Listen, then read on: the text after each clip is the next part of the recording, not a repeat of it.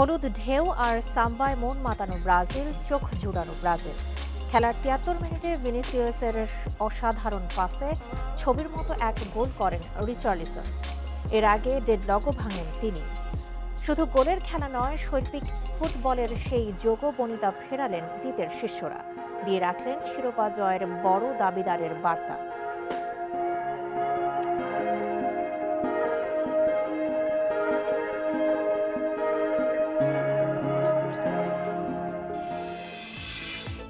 এই নিয়ে বিস্তারিত থাকছে সংবাদের স্বাগত সকাল নয়টার বিরতিহীন ইন্ডিপেন্ডেন্ট সংবাদে আপনাদের সাথে আছে সঞ্চারী মধুর তমা এবং আমি সাফাদ্দিন ফরিদ এবারে জানিয়ে দিচ্ছি প্রধান শিরোনামগুলো। ইউ এর সঙ্গে সহযোগিতা চুক্তিতে রাজি থাকা অর্থনৈতিক সংকট ভূ রাজনীতিতে গুরুত্ব।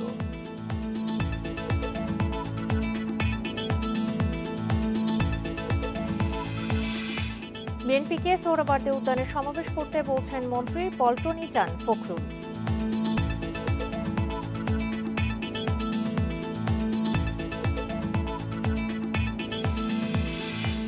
বিচার ব্যবস্থা নারী বান্ধব না হওয়ায় বাড়ছে নির্যাতন, সচেতনতাও দেখছেন বিশেষজ্ঞরা।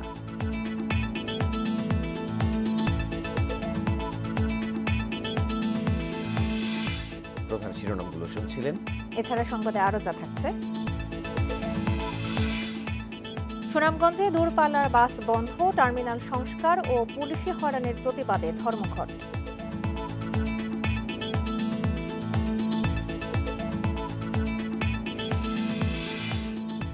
এলসি ছাড়াই তেরোশো গাড়ি আসছে দেশে। মোংলা ও চট্টগ্রাম বন্দরে রয়েছে সাত শতাধিক।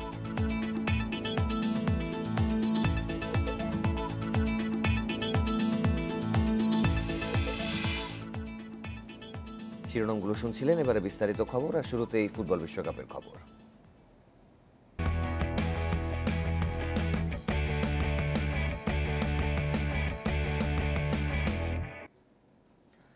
চোখ জুড়ানো ব্রাজিল, মন মাতানো ব্রাজিল, কাতারে জয় দিয়েই হেক্সা মিশন শুরু করল সেলেসাওরা। ছবির মতো এক গোল করে স্মরণীয় হয়ে রইলেন রিচার্লিসন। বিশ্বকাপে অভিষেক ম্যাচে জোড়া গোল করে নেইমারের রেকর্ডেও ভাগ বসিয়েছেন তিনি। আর এর মধ্য দিয়ে তারা দিয়ে রাখলেন শিরোপা জয়ের বড় দাবিদার হওয়ার বার্তা। হলুদ ঢেউ আর সাম্বায় মন মাতানো ব্রাজিল, চোখ জোড়ানো ব্রাজিল। আইকনিক স্টেডিয়ামে শুরুতে সেলেসাওরা ছিল অচেনা। সার্বিয়ার রক্ষণে হিমশিম খেয়েছে নেইমাররা, তাই কিছু সুযোগ তৈরি হলেও প্রথমার্ধ ছিল গোল শূন্য দ্বিতীয়ার্ধে স্বরূপে ফেরে তিতের শিষ্যরা মুহুর্মুহু আক্রমণে ভয় ধরায় শার্প শিবিরে। একবার গোলকিপারকে একা পেয়েও ব্যর্থ হন ভিনিসিয়াস। শেষ দিকে ব্যবধান আরও বাড়তে পারত। আলেকসান্ডার বুলেট গতির শট লাগে পোস্টে। ক্যাসিমিরের শট আটকে দেয় বার। খানিক বাদেই রদ্রিগোর প্রচেষ্টা রুখে দেয় সার্বিয়ান গোলকিপার. আমরা খেলাটিতে চাপ অনুভব করেছি অন্যদিকে নির্ভরও হয়েছি। আমরা চ্যাম্পিয়ন হতে চাই যদি তা না পারি তাহলে নিজেদের সেরাটা দিতে চাই। এই মুহূর্তে ব্রাজিলের দলটি অনেক কিছু করতে পারে. আর্জেন্টিনা জার্মানি অঘটনের জন্ম দিলেও হেক্সা মিশনে কক্ষমতই রইল ব্রাজিল। ছাব্বিশ নভেম্বর নেইমারদের দ্বিতীয় পরীক্ষা সুইজারল্যান্ডের বিপক্ষে। কামরুল হাসনাত ইন্ডিপেন্ডেন্ট নিউজ নানা জল্পনা কল্পনার পর বর্নিল এক জয় দেখা পাওয়ায় স্বস্তি ব্রাজিল শিবিরে। রিচার্লিসনের বাইসাইকেল কিকের গোলের পরই উৎসবে মাতেন সমর্থকেরা। করেন প্রিয় দলের নান্দনিক ফুটবলের প্রশংসা। পরে আনন্দ মিছিল বের হয় ঢাকা বিশ্ববিদ্যালয়ের টিএসসি এলাকায়। একদিকে মরুরূপকে জোড়া গোলে ব্রাজিলকে জয় এনে দিয়েছেন রিচার্লিসন, আরেকদিকে টিএসসিতে দর্শকরা মেতে ওঠেন উল্লাসে। হেক্সামিশনের প্রথম ম্যাচে সার্বিয়াকে দুই শূন্য গোলে হারানোয় আনন্দ মিছিল করেছে ব্রাজিল সমর্থকরা।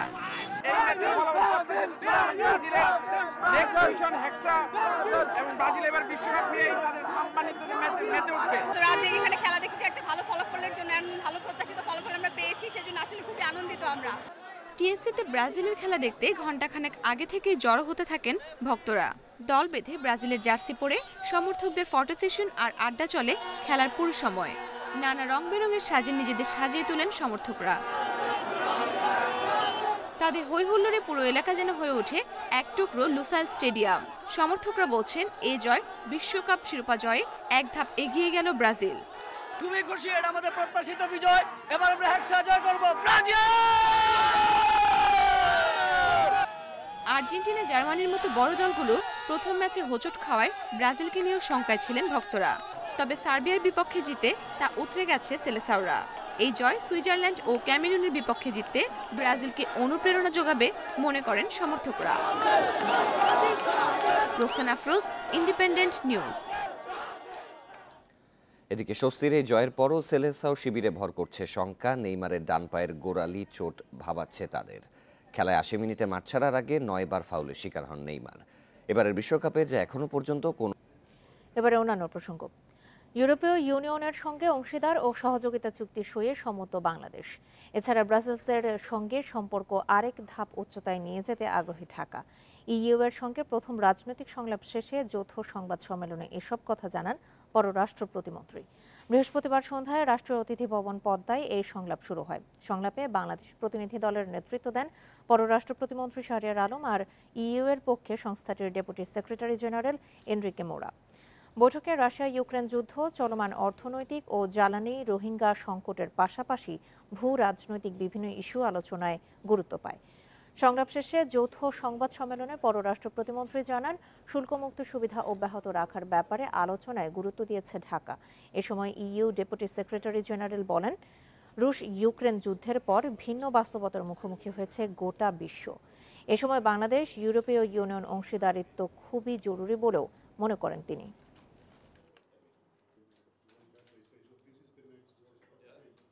আমাদের সম্পর্ককে নতুন উচ্চতায় নিতে হবে। এবং নতুন উচ্চতায় যাওয়া মানেই হচ্ছে পার্টনারশিপ কোঅপারেশন পার্টনারশিপ লেভেলে নেওয়া তো সেটা করতে গেলে একটা এগ্রিমেন্ট বা একটা বোঝাপড়া তো করতেই হবে। হ্যাঁ আমরা অবশ্যই এই ধরনের একটা এগ্রিমেন্ট সাইন করতে চাই।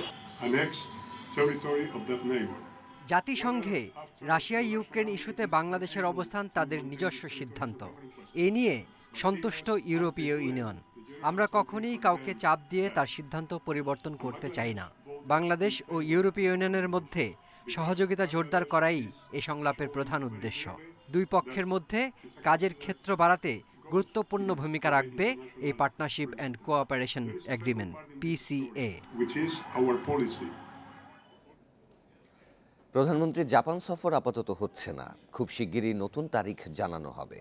বৃহস্পতিবার সন্ধ্যায় রাজধানীর একটি হোটেলে সাংবাদিকদের প্রশ্নের জবাবে পররাষ্ট্রমন্ত্রী এ কে আব্দুল মোমেন বলেন উনত্রিশে নভেম্বর জাপান যাচ্ছেন না প্রধানমন্ত্রী। কোভিড পরিস্থিতি এখনও স্বাভাবিক পর্যায়ে আসেনি। তাছাড়া জাপানে রাজনৈতিক অস্থিরতা চলছে। জাপানের এই সকল পরিস্থিতি পর্যবেক্ষণ করা হচ্ছে। তবে এই সফরের প্রস্তুতি নিয়ে এখনও কাজ করছে ঢাকা, টোকিও। দ্রুতই নতুন তারিখ ঘোষণা হবে বলেও জানান তিনি। তারা আমাদের দাওয়াত দিয়েছেন। আর এই সময় তাদের নিজেদের ঘরে যদি সমস্যা থাকে তাহলে তো এই জন্য আমরা পর্যবেক্ষণ করছি। যে দেখি যে অবস্থা যদি খুব জনা থাকে, তাহলে আমাদের যে অবজেক্টিভ অনেক কিছু, সেগুলো কীভাবে অর্জিত হবে? তো সেই সব বিবেচনায় আমরাই চিন্তা ভাবনা করছি। তাছাড়া কোভিড জাপানে এখনও কোভিডের প্র- প্র- প্রভাব আছে। বিশৃঙ্খলা না করার শর্তে সৌরবর্দী উদ্যানে দশ ডিসেম্বর গণসমাবেশের অনুমতি পাচ্ছে বিএনপি এ বিষয়ে প্রধানমন্ত্রী শেখ হাসিনা সম্মতি দিয়েছেন বলে জানিয়েছেন স্বরাষ্ট্রমন্ত্রী আসাদুজ্জামান খান। বৃহস্পতিবার সন্ধ্যায় সদরঘাটে এক অনুষ্ঠানে এই তথ্য জানান তিনি। এদিকে বিএনপি মহাসচিব মির্জা ফখরুল ইসলাম আলমগীর জানিয়েছেন, রাজধানীর অন্য কোনো এলাকায় নয়, নয়াপল্টনেই গণসমাবেশ করতে চায় বিএনপি। দশ ডিসেম্বরের গণসমাবেশ নিয়ে পাল্টাপাল্টি অবস্থানে প্রধান দুই রাজনৈতিক দল। বিএনপি নয়াপল্টনে গণসমাবেশের অনুমতি চেয়ে আবেদন করার পর থেকে দলের নেতারা বলছেন, অনুমতি না পেলেও নয়াপল্টনেই গণসমাবেশ হবে। তবে ডিএমপি থেকে শুধু নয়াপল্টন ছাড়াও আরও কয়েকটি স্থানের নাম যোগ করতে বলা হয়। পরে বিএনপি সোরারদি উদ্যান ও মানিক মিয়া অ্যাভিনিউর নাম যুক্ত করে আবারও আবেদন করে। বৃহস্পতিবার সদরঘাটে লঞ্চ মালিকদের এক অনুষ্ঠান শেষে স্বরাষ্ট্রমন্ত্রী বলেন, নয়াপল্টনের পরিবর্তে বিএনপিকে সোহরার্দি উদ্যানে গণসমাবেশ করার অনুমতি দেওয়া হবে। আমাদের তরফ থেকে জানিয়ে দেওয়ার জন্য আমরা কমিশনারকে বলে দিয়েছি, আমাদের মাননীয় প্রধানমন্ত্রীর নির্দেশনা তাই। তারা যেখানে চেয়েছে সরওয়ার্দী উদ্যান, সেখানে যেন আমরা পারমিশন দিয়ে দিই। আমরা তাদেরকে জানিয়ে দেওয়া হবে, তারা সরওয়ার্দী উদ্যানে এই সভাটি করতে করবেন। স্বরাষ্ট্রমন্ত্রীর বক্তব্যের জবাবে বিএনপি মহাসচিব মির্জা ফখরুল ইসলাম আলমগীর বলেন, তারা নয়াপল্টনেই গণসমাবেশের অনুমতি চান। হ্যাঁ কিছু চিঠি আমরা আমাদের জায়গাতেই আছি। যদি কিছু আসে সেটা আমরা পরে আমরা আমাদের সিদ্ধান্ত নিয়ে আমরা জানাব। অনুমতি না পেলেও রাজধানীর নয়াপল্টনেই গণসমাবেশ করতে চান বিএনপি মহাসচিব। Jahanara Parvin, Independent News, Dhaka. জনসমাগম হবে না বলে বিএনপি শঙ্কিত হয়ে দশই ডিসেম্বরের সমাবেশ রাজধানীর নয়াপল্টনে করতে চায়। কথা বলেছেন তথ্য সম্প্রচার মন্ত্রী হাসান মাহমুদ। বৃহস্পতিবার সচিবালয়ে জাতিসংঘের আবাসিক প্রতিনিধি গুয়েন লুইসের সাথে সৌজন্য সাক্ষাৎ শেষে সাংবাদিকদের এক প্রশ্নের জবাবে তথ্যমন্ত্রী আরও বলেন, সরকার সমাবেশের অনুমতি দিয়েছে, কিন্তু বিশৃঙ্খলার উদ্দেশ্যে বিএনপি সমাবেশ করলে সরকার তাতে অনুমতি দেবে না। গণ্ডগোলের উদ্দেশ্যে কোনো সমাবেশ করার অনুমতি সরকার দিতে পারে না। তথ্যমন্ত্রী জানান সমাবেশের লোক হবে না এবং রাস্তায় সমাবেশ করলে গণ্ডগোল করতে সুবিধা হয়। এই দুই উদ্দেশ্যেই নয়াপল্টনে সমাবেশ করতে চায় বিএনপি। দলের নয়াপল্টন অফিসের সামনে সমাবেশ করার আগ্রহটাই একটি হীন উদ্দেশ্য বলে মন্তব্য করেন হাসান মাহমুদ। তিনি মনে করেন, বড় সমাবেশ কখনো রাস্তায় হয় না, এতে শুধুই জনগণের দুর্ভোগ হয়। তো বিএনপি নয়াপল্টনের সামনে, তাদের অফিসের সামনে সমাবেশ করার উদ্দেশ্যটাই একটা হীন উদ্দেশ্য। বড় সমাবেশ কখনো রাস্তায় হয় না এবং রাস্তায় সমাবেশ করা অনুচিত। এতে জনগণের দুর্ভোগ হয়। জামিনে থাকা নিষিদ্ধ জঙ্গি সংগঠন আনসার আল ইসলামের আশকারি বিভাগের প্রধান মেহেদি হাসান অমি ওরফে রাফি আদালত থেকে জঙ্গি ছিনতাইয়ের প্রধান সমন্বয়ক। আনসার আল ইসলামের মাস্টারমাইন্ড চাকুরিচ্যুত মেজর জিয়ার নির্দেশনায় জঙ্গিদের ছিনিয়ে নেয়ার মিশন বাস্তবায়ন করে সে। রাফিকে যাত্রাবাড়ি থেকে গ্রেপ্তারের পর এসব তথ্য জানিয়েছে ডিএমপির counter terrorism and transnational crime CTTC বৃহস্পতিবার তাকে সাত দিনের রিমান্ডে পাঠিয়েছে আদালত। ঢাকার মুখ্য মহানগর হাকিম আদালত প্রাঙ্গণ থেকে বিশ নভেম্বর প্রকাশক দীপন হত্যা মামলার মৃত্যুদণ্ডপ্রাপ্ত দুই আসামি, মইনুল হাসান শামীম ও আবু সিদ্দিক সোহেলকে ছিনিয়ে নেয় জঙ্গিরা। পরে কোতোয়ালি থানায় বিশ জনের নামসহ একচল্লিশ জনের বিরুদ্ধে মামলা করে পুলিশ। মামলার তদন্তে নেমে বুধবার যাত্রাবাড়ি থেকে সিটিটিসি গ্রেপ্তার করে মেহেদি হাসান অমি ওরফে রাফি নামের একজনকে। বৃহস্পতিবার ডিএমপি মিডিয়া সেন্টারে সংবাদ সম্মেলনে সিটিটিসি প্রধান জানান, জঙ্গি ছিনতাইয়ের ঘটনায় রাফি প্রধান সমন্বয়ক। মেজর জিয়ার নির্দেশনায় জঙ্গি ছিনতাইয়ের মিশন শুরু করে সে।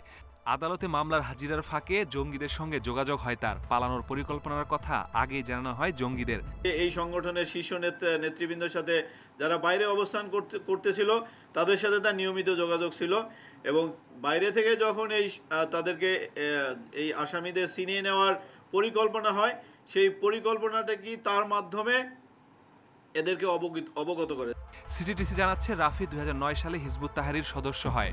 পরের বছর গ্রেপ্তার হয়ে দুই সালে জামিনে বেরিয়ে যোগ দেয় আনসারুল্লাহ বাংলা টিমে যা এখন আনসার আল ইসলাম নামে পরিচিত। পরে সিলেট বিভাগে দাওয়া প্রধান হিসেবে যোগ দিয়ে আস্থা অর্জন করে মেজর জিয়ার। বরখাস্তকৃত মেজর জিয়ার দিক দৃষ্টি আকর্ষণ করতে সক্ষম হয় এবং মেজর জিয়া তাকে এই সংগঠনের আশকারি বিভাগ আপনারা যেটা জানেন, যারা এরকম পরিকল্পনা অংশগ্রহণ করে থাকে, যারা তাদের অপারেশনাল কার্যক্রম করে থাকে, সেই আশকারি বিভাগে তাকে নিয়োগ দেওয়া হয়। রাফিকে আদালতে তুলে দশ দিনের রিমান্ড আবেদন করলে সাত দিন মঞ্জুর করা হয়। এ মামলা ছাড়াও রাফির নামে সন্ত্রাস বিরোধী আইনে আরও পাঁচ মামলা তথ্য পেয়েছে CTTC. Masudur Rahman Independent News Dhaka. নারীদের উদ্যোগ ছড়িয়ে দেওয়ার আহ্বান জানিয়েছেন প্রধানমন্ত্রীর বেসরকারি শিল্প ও বিনিয়োগ উপদেষ্টা সালমান এফ রহমান। আন্তর্জাতিক নারী উদ্যোক্তা সম্মেলনের সমাপনীতে তিনি বলেন, অর্থনীতিতে নারীদের আরও অবদান রাখার সুযোগ রয়েছে। বৃহস্পতিবার রাতে রাজধানীর একটি হোটেলে বাংলাদেশ ইন্ডিয়া বিজনেস কাউন্সিলের উদ্যোগে দুদিনের এই অনুষ্ঠানে সালমান এফ রহমান বলেন, সম্মেলনে যোগদানের মধ্যেই উদ্যোক্তাদের কার্যক্রম সীমাবদ্ধ রাখলে চলবে না। তাদের আরও নতুন নতুন উদ্যোগ নিতে হবে। তাহলে ব্যবসায় নারী পুরুষের সমতা আসবে। সম্মেলনে বিভিন্ন ক্যাটাগরিতে দেশের পনেরো জন এবং অন্য দেশের সাতজনকে পুরস্কৃত করা হয়।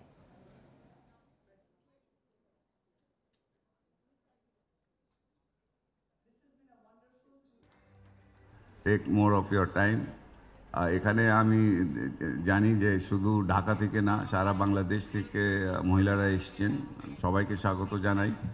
এবং আশা করি যে ভবিষ্যতে আপনারা, আপনাদের এই ইভেন্টটা আরও সাকসেসফুল হবে। আজ থেকে শুরু আন্তর্জাতিক নারী নির্যাতন প্রতিরোধ পক্ষ। দেশে বিচার ব্যবস্থা, নারী বান্ধব না হওয়ার কারণে নারী নির্যাতন কমানো যাচ্ছে না। তাছাড়া বিচার প্রক্রিয়া ও নির্যাতন রোধে বিদ্যমান সেবাগুলো সম্পর্কেও সাধারণ নারীরা সচেতন নন। তাই বিশেষজ্ঞ মত বিশেষজ্ঞদের মত, নারী নির্যাতন প্রতিরোধে সরকারের সক্ষমতা বাড়ানোর পাশাপাশি জোর দিতে হবে নারী পুরুষ সমতার বিষয়ে সচেতনতা তৈরি করা। চলতি বছরের প্রথম দশ মাসে দেশের নারীর প্রতি সহিংসতার ঘটনা ঘটেছে তিন হাজার সাতষট্টিটি। এর মধ্যে ধর্ষণের ঘটনা ছয়শো তেতাল্লিশটি ও ধর্ষণের পর হত্যার ঘটনা ত্রিশটি। ধর্ষণের কারণে আত্মহত্যা করেছেন আটজন নারী। সাইবার অপরাধের ঘটনা ঘটেছে বাউন্নটি। বাংলাদেশ মহিলা পরিষদ জানিয়েছে এই তথ্য। মহিলা পরিষদের গবেষণায় দেখা গেছে, পঁচানব্বই ভাগ নারী পুরুষ মনে করেন দেশে নারীদের যৌন নিপীড়নের শিকার হওয়ার আশঙ্কা বেশি। চুহাত্তর ভাগ উত্তরদাতা মনে করেন যৌন সহিংসতার মামলা মোকাবিলায় আইন প্রয়োগকারী কর্মকর্তারা দক্ষ নন। নিরানব্বই দশমিক দুই শতাংশ মানুষ মনে করেন অর্থ ও রাজনৈতিক ছত্রছায়ায় অপরাধীরা পার পেয়ে যায়। নারীদের সাথে কীভাবে আচরণ করব বা সোশ্যাল মিডিয়াও কীভাবে তাদের সাথে কথা বলতে হয় বা অ্যাপ্রোচ করতে হয় ওই দিক দিয়ে আমরা অনেক ক্ষেত্রে ল্যাকিংস করি আমরা জানি কি করতে হবে না হবে কিন্তু আমরা ঠিক মতো হচ্ছে কি স্টেপটা নিতে পারি না। ভিকটিমকে দ্বিতীয়বার অপ্রীতিকর পরিস্থিতির মুখোমুখি হতে হয় বলেও অনেক নারী অভিযোগ করেন না। ইন্টারনেট থেকে ফেসবুক থেকে আরম্ভ করে শৈক্ষিক সে ভয়াবহ এই জায়গাগুলোকে কিন্তু সেভাবে নিয়ন্ত্রণ করার প্রথম কথা ক্ষমতা নাই। সুযোগ ট্রেনিংগুলো সেভাবে হচ্ছে না। One zero nine triple nine এই যে- এই জায়গাগুলো এখন অ্যাওয়ারনেসটা হওয়াতে অনেকেই কিন্তু অনেক বাচ্চা বাচ্চা মেয়েরাও কিন্তু ফোন করতেছে যেটা। এটাকে আরও ছড়িয়ে দিতে হবে। মানবাধিকার কর্মীরা বলছেন নারী পুরুষ বৈষম্যের ধারণা নারী নির্যাতন প্রতিরোধে বড় বাধা। সমান মর্যাদা আর সমান দৃষ্টিতে দেখা এটাই হলো মূল কথা। এরকম সমাজ না আসা পর্যন্ত আমাদের এই দমিয়ে রাখতে চেষ্টা করবে। আর দমানোর সবচেয়ে বড় হাতিয়ার হলো হিংস্রতা আর নির্যাতন। নারীর উপর সহিংসতা ঠেকাতে মানসিক নিপীড়নের বিরুদ্ধে সোচ্চার হওয়ার আহ্বান অধিকার কর্মীদের প্রচারের দিক দিয়ে ভাবলে দেশের নারী নির্যাতনের বিরুদ্ধে বেড়েছে প্রতিরোধ। তবে কমেনি নারী নির্যাতন। এই অবস্থার অবসানে প্রয়োজন নারী পুরুষ তথা রাষ্ট্রের পুরুষতান্ত্রিক মানসিকতার পরিবর্তন, বলছেন মানবাধিকার কর্মীরা। Sultana Jahan Mitu, Independent News, Dhaka. সুনামগঞ্জে বাস টার্মিনাল সংস্কার ও পুলিশি হয়রানির প্রতিবাদে অনির্দিষ্টকালের কর্মবিরতি পালন করছেন জেলা শ্রমিক ইউনিয়ন। এতে অভ্যন্তরীণ ও দূরপাল্লার রুটে বাস চলাচল বন্ধ রয়েছে। এছাড়াও সিএনজি পণ্যবাহী কোনো যানবাহনও ছেড়ে যাচ্ছে না। হঠাৎ শ্রমিকদের কর্মবিরতিতে দুর্ভোগে পড়েছেন যাত্রীরা। শ্রমিক নেতারা জানান, দীর্ঘদিন ধরে টার্মিনাল সংস্কারের দাবি জানালেও তা পূরণ হয়নি। টার্মিনালে জায়গা না পেয়ে সড়কে বাস রাখলে পুলিশি হয়রানির শিকার হন তারা। এই সমস্যা সমাধানে বাধ্য হয়ে অনির্দিষ্টকালের কর্মবিরতির ঘোষণা দেওয়ার কথা জানান জেলা শ্রমিক ইউনিয়ন।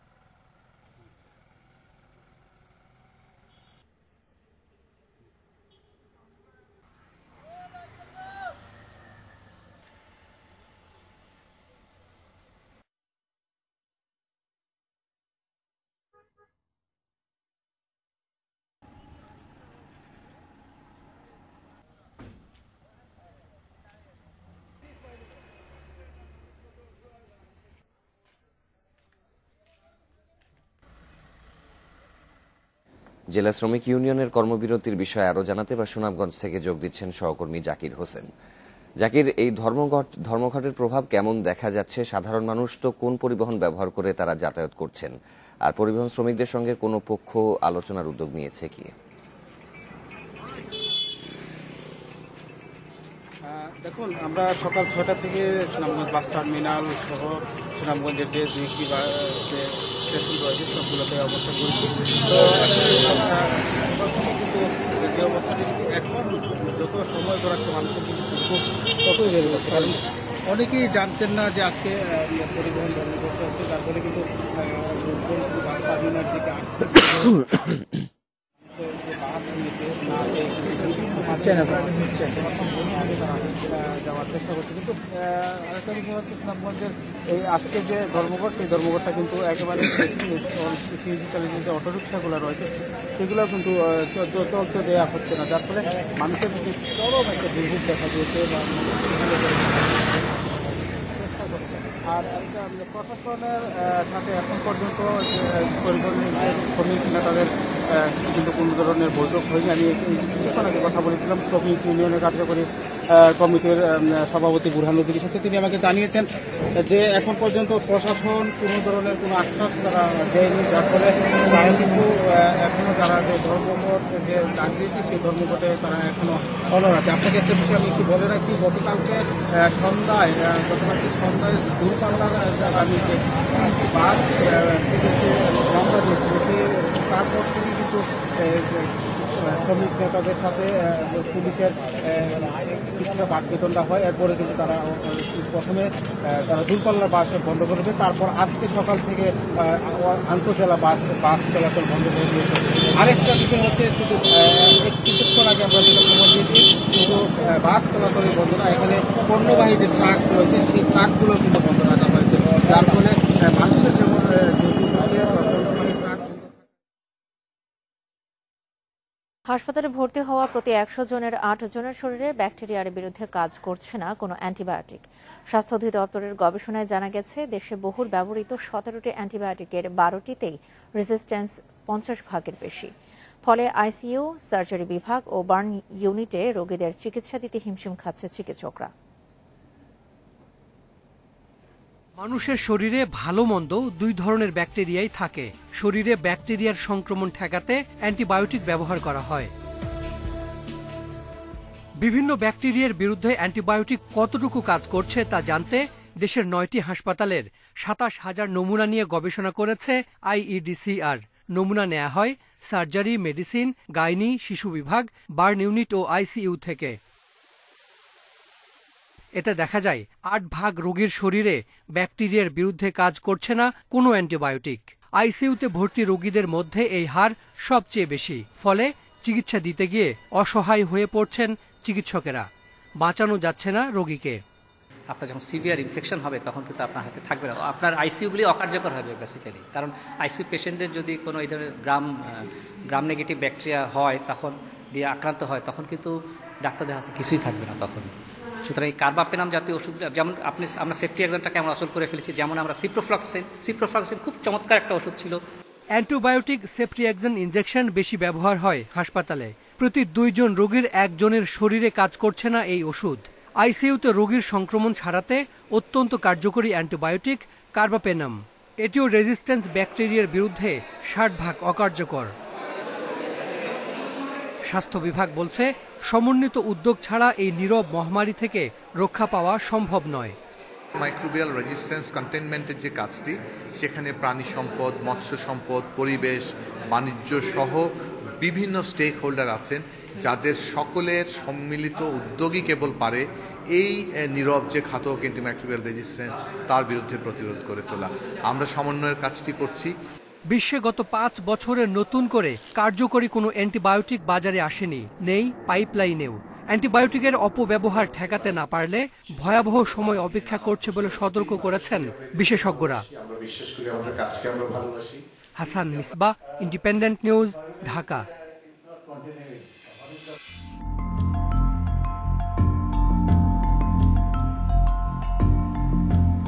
টাকার অভাবে এবারে শীতে সুন্দরবনে বাঘশুমারি হচ্ছে না। বাঘ রক্ষা প্রকল্পে ছত্রিশ কোটি টাকা বরাদ্দ হলেও শেষ পর্যন্ত হয়নি অর্থ ছাড়। এতে স্যাটেলাইট, কলার দেয়া, আগুন মোকাবিলায় ওয়াচ টাওয়ারও নির্মাণ করা যাচ্ছে না। সুন্দরবনে সাত বছরে সুমারি দুটি বাঘ হয়েছে, দুটি বাঘ সুমারি হয়েছে। দুহাজার পনেরো সালে বাঘ ছিল একশো ছয়টি আর দু হাজার আঠারোতে মিলেছিল একশো চোদ্দটি সন্ধান।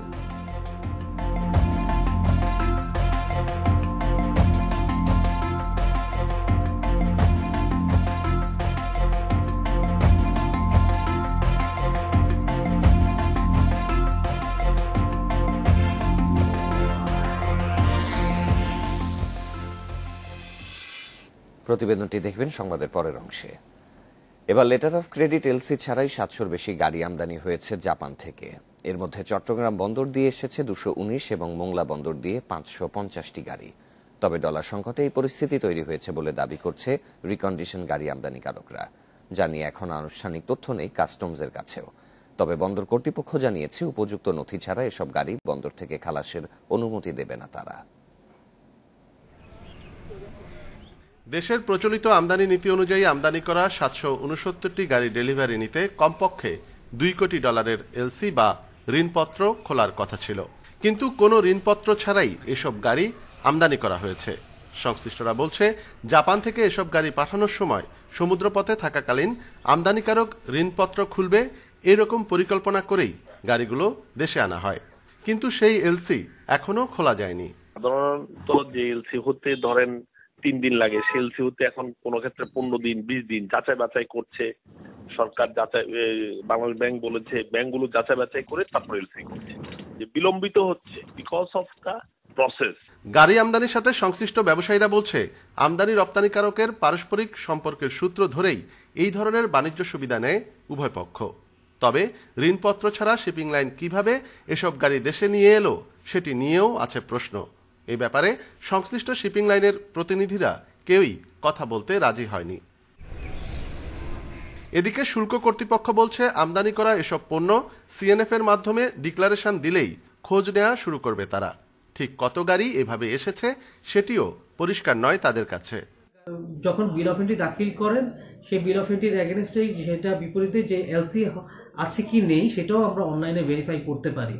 তো যখন আমরা এই গাড়িগুলো যখন আমরা শুল্কায়ন করব, তখন আমরা এই সমস্ত অনলাইন এবং অফলাইন বা হার্ড কপি ডকুমেন্ট সেগুলো যাচাই করে তারপরে আমরা দেখতে পারব। তবে বন্দর কর্তৃপক্ষ জানিয়েছে, প্রয়োজনীয় নথি ছাড়া কোনো গাড়ি বন্দর থেকে বের করতে দিবে না তারা। ক্ষেত্রে যদি কোনো রকম এলসি জটিলতা কিংবা অন্য কোনো কাস্টমস ডিউটি জটিলতা যেটা থাকে সেটা কাস্টমস কর্তৃপক্ষ দেখবে এবং সেটা সর্ট আউট করবে। ফাইনালি আমরা কাস্টমসের অনুমতি পেলেই কিংবা কাস্টমস থেকে ছাড়পত্র পেলেই আমরা এগুলা ডেলিভারি দেবো। আদারওয়াইজ আমরা কোনো পদক্ষেপ নেব না।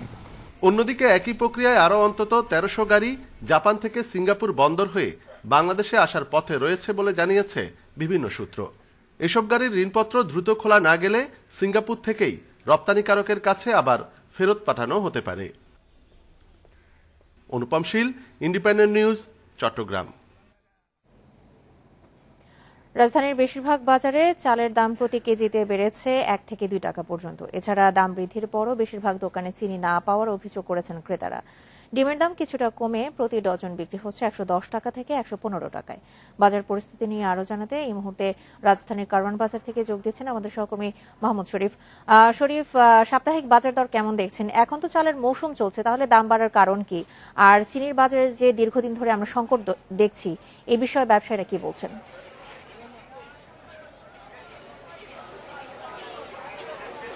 দেখুন, সবচেয়ে বেশি সংকট দেখা গেছে চিনির বাজারে, যেখানে আসলে বিক্রেতারা বলছে তারা তাদের চাহিদা মতো চিনি পাচ্ছে না। যেখানে বিশ থেকে পঁচিশ বস্তা চিনির চাহিদা রয়েছে, সেই বিপরীতে চিনি পাচ্ছে এক থেকে দুই বস্তা। যে কারণে তারা সরকার নির্ধারিত যে দাম, সেই দামে তারা বিক্রি করতে পারছে না বা সংকট থাকার কারণে আমরা দেখে থাকি যে দাম বাড়িয়ে বিক্রি করার যে প্রবণতা, সেটি আমরা লক্ষ্য করেছি। সেক্ষেত্রে একশো দুই টাকা খোলা চিনি চিনি বিক্রি করার কথা থাকলেও সেটি বিক্রি হচ্ছে একশো দশ থেকে পনেরো টাকা বা কোনো ক্ষেত্রে একশো বিশ টাকাও বিক্রি হচ্ছে। এই অস্থিরতা তো রয়ে গেছে। আবার নতুন করে যদি বলি যে চালের বাজার, সেটি আসলে এক থেকে দু টাকা বেড়েছে কেজি কেজি প্রতি গত সপ্তাহের তুলনায়। এই চালের বাজারের যে দাম, চালের দাম বাড়ার পেছনে ব্যবসায়ীরা বলছে যে এটি আসলে তারা ধারণা করেছিল যে এই দামটি বাড়বে না। কিন্তু কেন বেড়েছে? এর উত্তর তারাও দিতে পারছে না যে কেন দামটি বেড়েছে। আর এছাড়া যদি বলি যে মুরগি, ডিম, মাংস, এসবের দাম কিন্তু স্থিতিশীল আছে। গত সপ্তাহে যে দামে বিক্রি হয়েছে, সেই একই দামে বিক্রি হচ্ছে। যেমন ব্রয়লার মুরগি সেটি গত সপ্তাহে দেড়শো টাকা বিক্রি হলো। আজকে সেটি একশো পঁয়ত্রিশ থেকে একশো চল্লিশ টাকা বিক্রি হচ্ছে কারওয়ান বাজারে।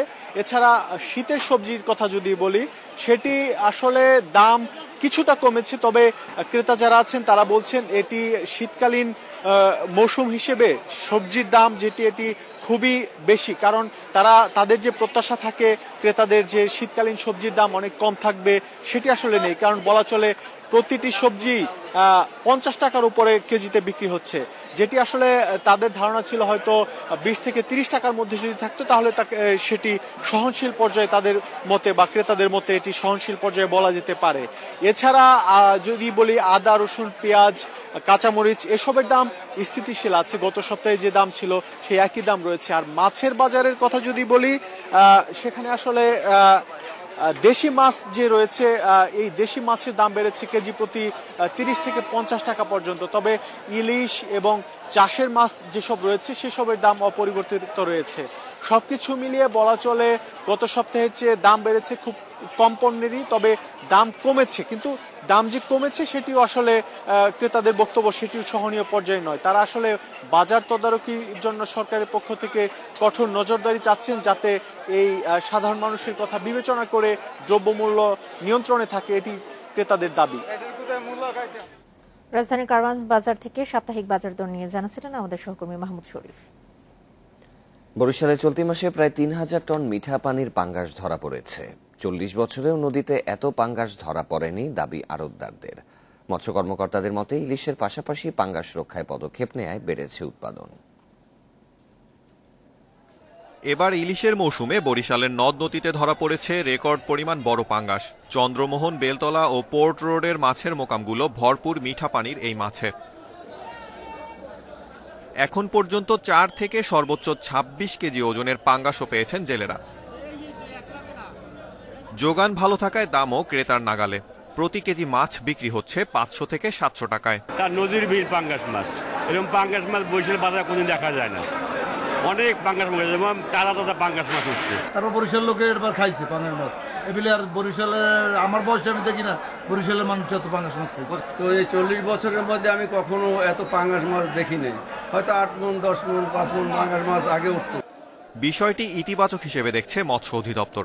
তাদের মতে দুই হাজার সতেরো সাল থেকে ইলিশের সাথে পাঙ্গাস রক্ষায় পদক্ষেপ নেয় বেড়েছে উৎপাদন। স্থানীয় পর্যায়ে পাঙ্গাস রক্ষা করার জন্য পাঙ্গাসের যে মূল শত্রু, চাই, এবং বিভিন্ন সময় বিভিন্ন সাইজের যে চাপ জাল ব্যবহার করা হয়, এগুলোর উপরে আমরা নজরদারি শুরু করি। এবং আমরা ইতিমধ্যে চাই প্রায় বন্ধ করতে পেরেছি এবং চাপ জালের যে ব্যবহার, এটাকেও আমরা অনেকটা কমিয়ে আনতে পারছি। যার ফলে আমাদের এই পাঙ্গাসের যে পুনঃউৎপাদন হয়, এর একটি নিরাপদ যে স্থান, এটা আমরা নদীতে তৈরি করতে পেরেছি। আগে শুধু বরগুনার আয়লাপাতা ঘাট এলাকায় পাঙ্গাস মিললেও এখন মেঘনা, তেতুলিয়া, আড়িয়ালখা ও কীর্তনখোলা সহ বিভিন্ন নদীর তিরিশটি পয়েন্টে পাওয়া যাচ্ছে পাঙ্গাস। Independent News. দাম বেড়েছে সব ধরনের নিত্যপণ্যের শীতকালীন সবজির সরবরাহ বেশি থাকলেও এখনও দাম নাগালের বাইরে। বাজার পরিস্থিতি নিয়ে চট্টগ্রাম ও রাজশাহী থেকে যোগ দিচ্ছেন আমাদের সহকর্মীরা। শুরুতে যাচ্ছে চট্টগ্রামে, সেখানে আছেন আমাদের সহকর্মী আসান রিটন। রিটন আমরা যেমনটি রাজধানীর বাজার দর শুনছিলাম সাপ্তাহিক বাজার দর চট্টগ্রামে কেমন দেখছেন? চালের মৌসুম হওয়া সত্ত্বেও চালের দাম এক থেকে দুই টাকা পর্যন্ত রাজধানীতে বেড়েছে। চট্টগ্রামের পরিস্থিতিকে এবং চীনের বাজার দর নিয়েও জানাবেন। শুরুতে একটু সবজির বাজার নিয়ে কথা বলতে চাই। এখানে আসলে যারা বিক্রেতা রয়েছেন তারা যেটি বলছেন, সেটি হচ্ছে আসলে শীতকালীন যে সমস্ত সবজি বাজার আসার কথা, সেগুলো ইতিমধ্যে আসতে শুরু করেছে এবং সেই কারণে সবজির দাম এখন অনেকটাই বলা যেতে পারে যে কমতির দিকে। আমরাও আসলে সেটি দেখছি যে আমরা ইতিপূর্বে যেটি দেখেছি, সেটি হচ্ছে প্রতিটি সবজির দাম আসলে ষাট থেকে সত্তর টাকার মধ্যে ছিল। এখন সেটি কমে ক্ষেত্র বিশেষ আসলে বিশ টাকা পর্যন্ত এসেছে। সঙ্গত কারণে বলা যেতে পারে যে সবজির দাম কিছুটা কিছুটা কমছে, এবং সামনের দিনগুলোতে হয়তো সেই কমতির মাত্রাটা আরও বাড়বে বলে আসলে সবাই মনে করছে। এর পাশাপাশি আমরা যদি একটু ডিমের বাজারের দিকে যাই, সেখানে আমরা বলতে পারি যে আসলে ডিমের দাম গত সপ্তাহ দুয়েক আগেও যেখানে একশো চল্লিশ টাকা ছিল, দেড়শো টাকা ছিল, সেটি এখন একশো ত্রিশ টাকা কিংবা কারও তারও কম দামে আমরা বাজারে বিক্রি হতে দেখছি এবং অন্যান্য বাজারগুলো তো ঠিক একই অবস্থা। একইভাবে আমরা যদি মুরগির কথা বলি, মুরগি আসলে আমরা দেখেছিলাম যে পর্যন্ত বিক্রি জি রিটন আপনি আমাদের সঙ্গে থাকুন। এবার আমরা যাচ্ছি রাজশাহীতে। সেখান থেকে জানব সহকর্মী মোস্তাফিজুর রহমানের কাছ থেকে। মোস্তাফিজুর রাজশাহীতে সাপ্তাহিক বাজার দর কেমন দেখছেন? শীতকালীন সবজি উঠেছে। শীতকালীন সবজির বাজার কেমন? এবং চাল ও চিনির যে আহ, ঊর্ধ্বগতি দেখছি দামের সেই বিষয়ে জানাবেন। রাজশাহীতে শীতকালীন সবজি কিন্তু এখন আমি যেখানে আছি, রাজশাহীতে সবজির এটা পাইকারি বাজার। এবং এখানে আজকে দেখা গেছে যে সবজিকালীন শীতকালীন যে সবজি রয়েছে, সেখানে সরবরাহ, পর্যাপ্ত সরবরাহ রয়েছে এবং শীতকালীন সবজির দামটাও কিন্তু বেশ কমেছে। অর্থাৎ সাধারণ যারা সাধারণ ক্রেতার ক্রয় ক্ষমতার মধ্যে রয়েছে, এইখানে যে দশ দিন আগেও যে ফুলকপিটি বিক্রি হচ্ছিল সত্তর থেকে আশি টাকা কেজি, আজকে কিন্তু সেটি বিক্রি হচ্ছে পঁচিশ থেকে তিরিশ টাকা। একটি পাতাকপি যেটি চল্লিশ টাকা, পঁয়- পঁয়তাল্লিশ টাকা বিক্রি হচ্ছিল, আজকে কিন্তু সেটি পঁচিশ পঁচিশ টাকার মধ্যে রয়েছে, কোথাও কোথাও বিশ টাকাও মিলছে।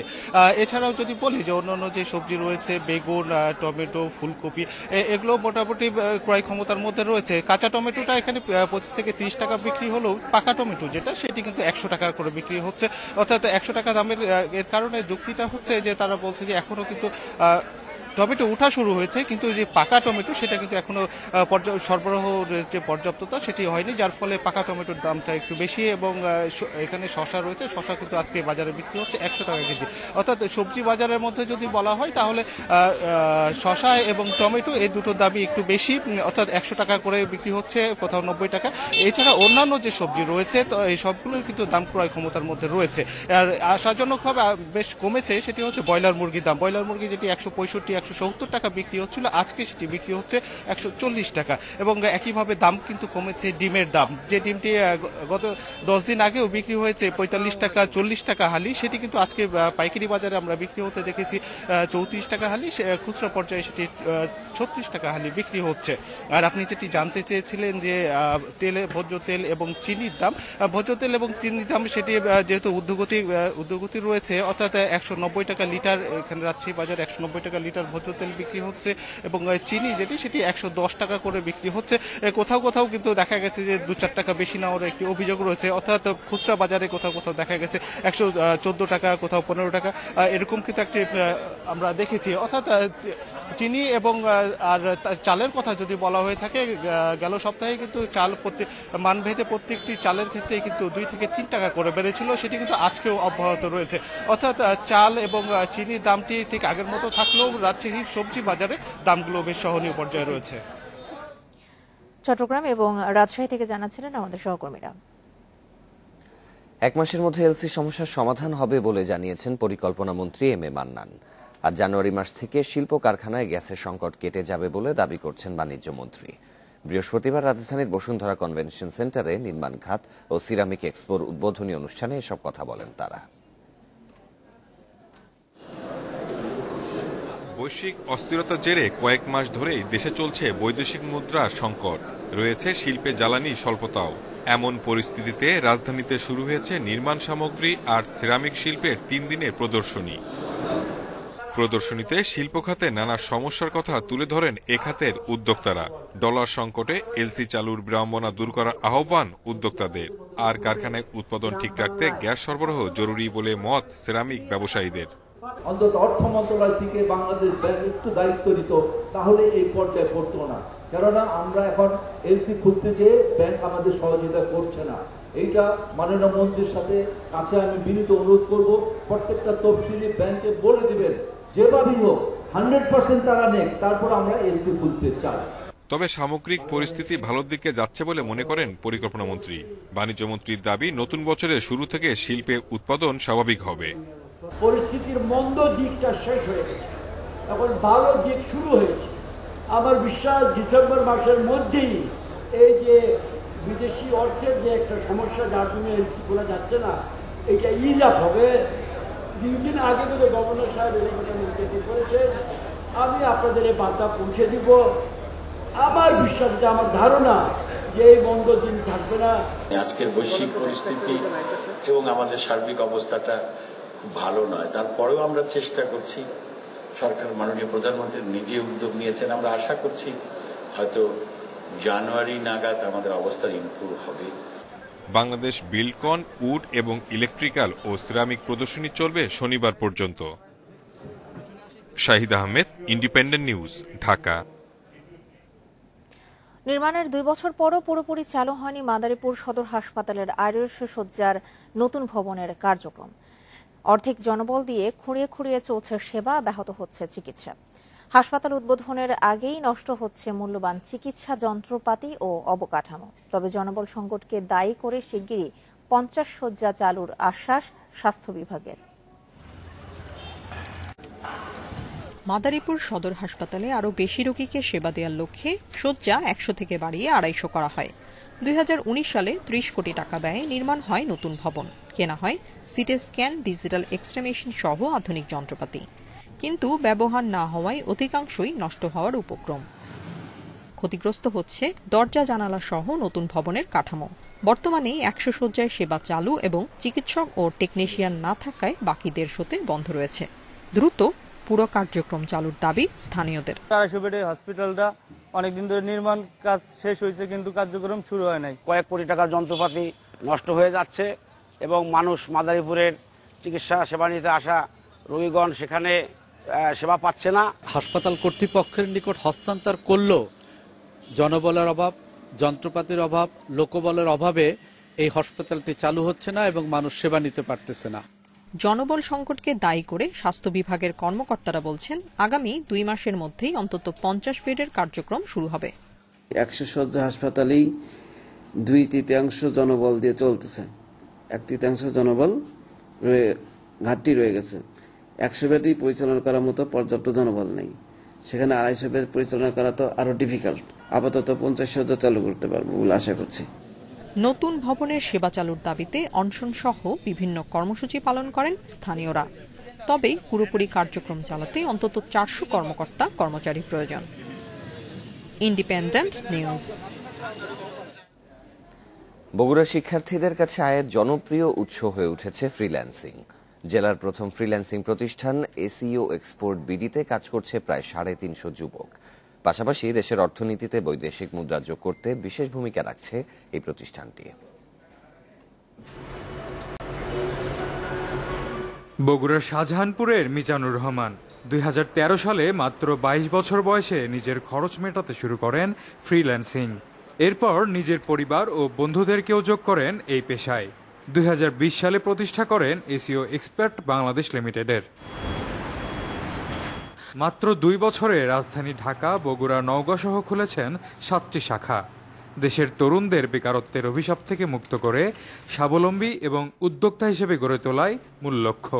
চৌষট্টিটা ডিস্ট্রিক্টে আমাদের কোম্পানির একটা করে অফিস থাকবে। যারা জবের জন্য ট্রাই করতেছে তো তাদেরকে এই পেশার সঙ্গে সংযুক্ত করা, তাদেরকে এই ট্রেনিংয়ের মাধ্যমে তাদেরকে এই- পেশাতে নিয়ে আসা এবং তারা যেন নিজে স্বাবলম্বী হয় এবং নিজে একজন উদ্যোক্তা তৈরি হয়, এইটা নিয়ে আমরা কাজ করতেছি। অল্প সময়ে নিজেকে প্রস্তুত করে মার্কেট প্লেসে কাজ ও ফ্রিল্যান্সিং করে আয়ের সুযোগ হচ্ছে কলেজ বিশ্ববিদ্যালয় পড়ুয়া শিক্ষার্থীদেরও। এছাড়া স্টার্ট আপ বিজনেসের পাশাপাশি দেশে বিদেশে চাকরির দক্ষতা অর্জন করছেন তারা।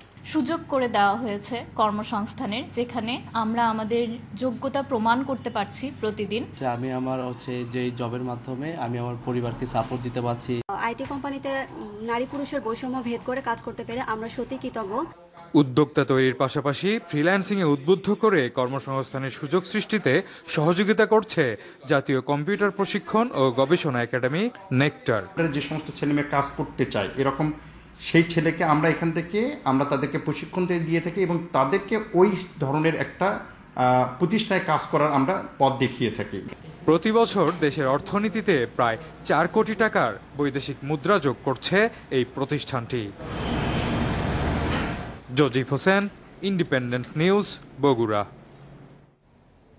সুনামগঞ্জের প্রতি বছরই পাহাড়ি ঢলের সঙ্গে বালু ও পলি জমে ভরাট হচ্ছে নদী। কমছে নদীর পানির ধারণ ক্ষমতা।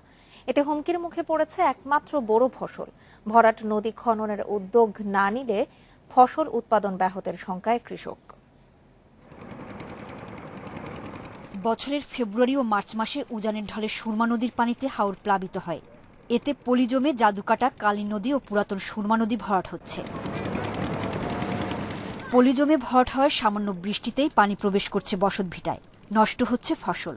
আগাম বন্যা থেকে হাওরের ফসল রক্ষায় পরিকল্পিতভাবে নদী খনন চান হাওর পাড়ের মানুষ। স্রোতের সাথে বালি আসে। বালি আসার পরে আস্তে আস্তে বালি ইয়াতে আপনার এই নদীর মধ্যে চর জমায় মাঝখানে তো দুই দুইখানে পানি দুই পারে পানির প্রেশার পরে পানির প্রেশার পড়ার পরে ফার বাঙ্গনে নদী খালি বড় হইতে থাকে আর আবাদি জায়গা আপনার নদীর কবলে দখলে আসে। ই গাংকরণ করা ফুরাফুরু হইছে না। বন্যার ভাই নিয়ে ওই যে সাধারণ বন্যা আইলেই এই যে উন্নয়ন বোর্ডের সাহায্য করে ঠিকই করার ইডিতেও মারিয়া জায়গা ভাই নিয়ে গিয়া বুড়ো ক্ষেত নষ্ট করে। বলার কারণে কিন্তু আমরা এই বন্যায় আমরা এই সড়ক বৃষ্টিবাদী যা উইলে পরে এই বেড়ি বানটা ভাঙ্গে আমরা আমার সাথে সারা ক্ষতি করে। পানি উন্নয়ন বোর্ড জানিয়েছে বর্তমানে জ্বালানি মূল্য বৃদ্ধির কারণে খনন কাজ বন্ধ রয়েছে। তবে বৃহৎ আকারে কাজ শুরু করার জন্য সমীক্ষা চলছে। নদী ড্রেজিং এবং নদীর তীরবর্তী যে ভাঙন কবলিত স্থানগুলো আছে এগুলোতে আমরা দীর্ঘমেয়াদী পরিকল্পনা হিসাবে আমরা একটা প্রকল্প গ্রহণ করতে যাচ্ছি এবং সেই প্রকল্প গ্রহণের আলোকে বর্তমানে যে ফিজিবিলিটি স্টাডি চলমান আছে। এদিকে দ্রুত নদী খননের কাজ শুরু করার কথা জানিয়েছেন জেলা প্রশাসকও। সরকারও এ ব্যাপারে ব্যবস্থা গ্রহণ করছে। পানি সম্পদ মন্ত্রণালয় থেকে সুনামগঞ্জের চোদ্দটি নদী খননের জন্য কার্যক্রম গ্রহণ করা হচ্ছে। সুনামগঞ্জ জেলায় ছোট বড় ত্রিশটির মতো নদী রয়েছে, যার সবগুলোই প্রায় পলিতে ভরাট হয়ে যাচ্ছে। Independent News. এবারে শীতে সুন্দরবনে হচ্ছে না বাঘসুমারি বাঘ রক্ষা প্রকল্পের ছত্রিশ কোটি টাকা জরিপের জন্য বরাদ্দ হলেও শেষ পর্যন্ত অর্থ ছাড় হয়নি। বন পরিবেশ উপমন্ত্রী হাবিবুন নাহার জানিয়েছেন, টাকার অভাবে এবছর বাঘসুমারি হচ্ছে না। সুন্দরবনে গত সাত বছরে দুইটি বাঘ শুমারি হয়েছে। দু হাজার পনেরো সালে বাঘ ছিল একশো ছয়টি আর দু হাজার পূর্ব ও পশ্চিম সুন্দরবনে চারশো একানব্বইটি ক্যামেরা ট্র্যাপিংয়ে গণনায় মেলে একশো চোদ্দটি। তার মধ্যে পূর্ণবয়স্ক তেষট্টিটি, আঠারোটি, বারো থেকে চোদ্দ মাস বয়সী এবং তেত্রিশটি শাবক। সেবার সাতক্ষীরা, খুলনা ও শরণখোলা রেঞ্জের তিন ব্লকের এক হাজার ছয়শো ছাপ্পান্ন বর্গ কিলোমিটার এলাকায় চলে জরিপ। এবছরের অক্টোবরে সুন্দরবনে চার হাজার বর্গ কিলোমিটারে দুইশো ক্যামেরায় শুমারি হবার কথা। পরিকল্পনা ছিল প্রথমবারের মতো দুইটি বাঘকে স্যাটেলাইট কলার দেয়া হবে। এছাড়া ধানসাগর ও নাংলিতে আগুন লাগা বন্ধে হবে ওয়াচ টাওয়ার। দুর্যোগে বন্যপ্রাণী রক্ষায় বারোটি মাটির কেল্লা করার কথা ছিল। ওদের বাঘের সংখ্যা বাড়ে কেন? আমাদের বাড়ে না কেন? ওদেরকে কপি করার করেছিলাম, কিন্তু এখন তো সেই চিন্তা তো মাথার থেকে গেছে পুকুর আগে কাটিয়ে রেখে দিয়েছি, এখনও আমি টাকা পাচ্ছি না। বাঘ যদি তো দিয়ে বলব না যে আগে তোমরা বাঘের সামনে যাও, আর তারপরে টাকা পাবে কি না পাবে? সুন্দরবনে বাঘ মানুষের সংঘাত প্রায় নিয়ন্ত্রণে। চোরা শিকারীরাও কোণঠাসা। তাই এবছর এপ্রিলে শরণখোলা রেঞ্জে ছিটে কটকা খালে গোলপাতার আড়ালে চোখে পড়ে চারটি বাঘ। এর আগে পঁচিশ ফেব্রুয়ারি চাঁদপাই রেঞ্জে দেখা মিলেছিল দুইটি বাঘ শাবক ও একটি বাঘিনী। তারপরও গত নয় বছরে মিলেছে বারোটি বাঘের মরদেহ। এছাড়া সাইক্লোনে বনে নোনা পানি কতটা বাড়ল, এতে বাঘ, হরিণ, বানর, শুকর সহ বন ও প্রাণীদের স্বাস্থ্যগত সমস্যা হচ্ছে কিনা তা জানাও জরুরি। একেবারে ন্যূনতম সেটা হলো যে তিন কোটি অর্থ যখনই হবে তখনই হবে, কারণ ওটা অনুমতি সব হয়ে গেছে, বুঝছেন? অফিসিয়াল কোনো কাজ বাকি নেই। খালি অর্থপ্রাপ্তি বাকি আছে এক যুগ পর বিশ্বের বাঘ রক্ষায় এবছর তেরোটি দেশের দ্বিতীয় আন্তর্জাতিক বাঘ সম্মেলন রাশিয়ায় হবার কথা। কিন্তু যুদ্ধের কারণে তা হচ্ছে না। Shahriar Anirban Independent News Dhaka. আর এই ছিল সকাল নয়টার বিরতিহীন সংবাদে। আমন্ত্রণ আমাদের পরে আছেন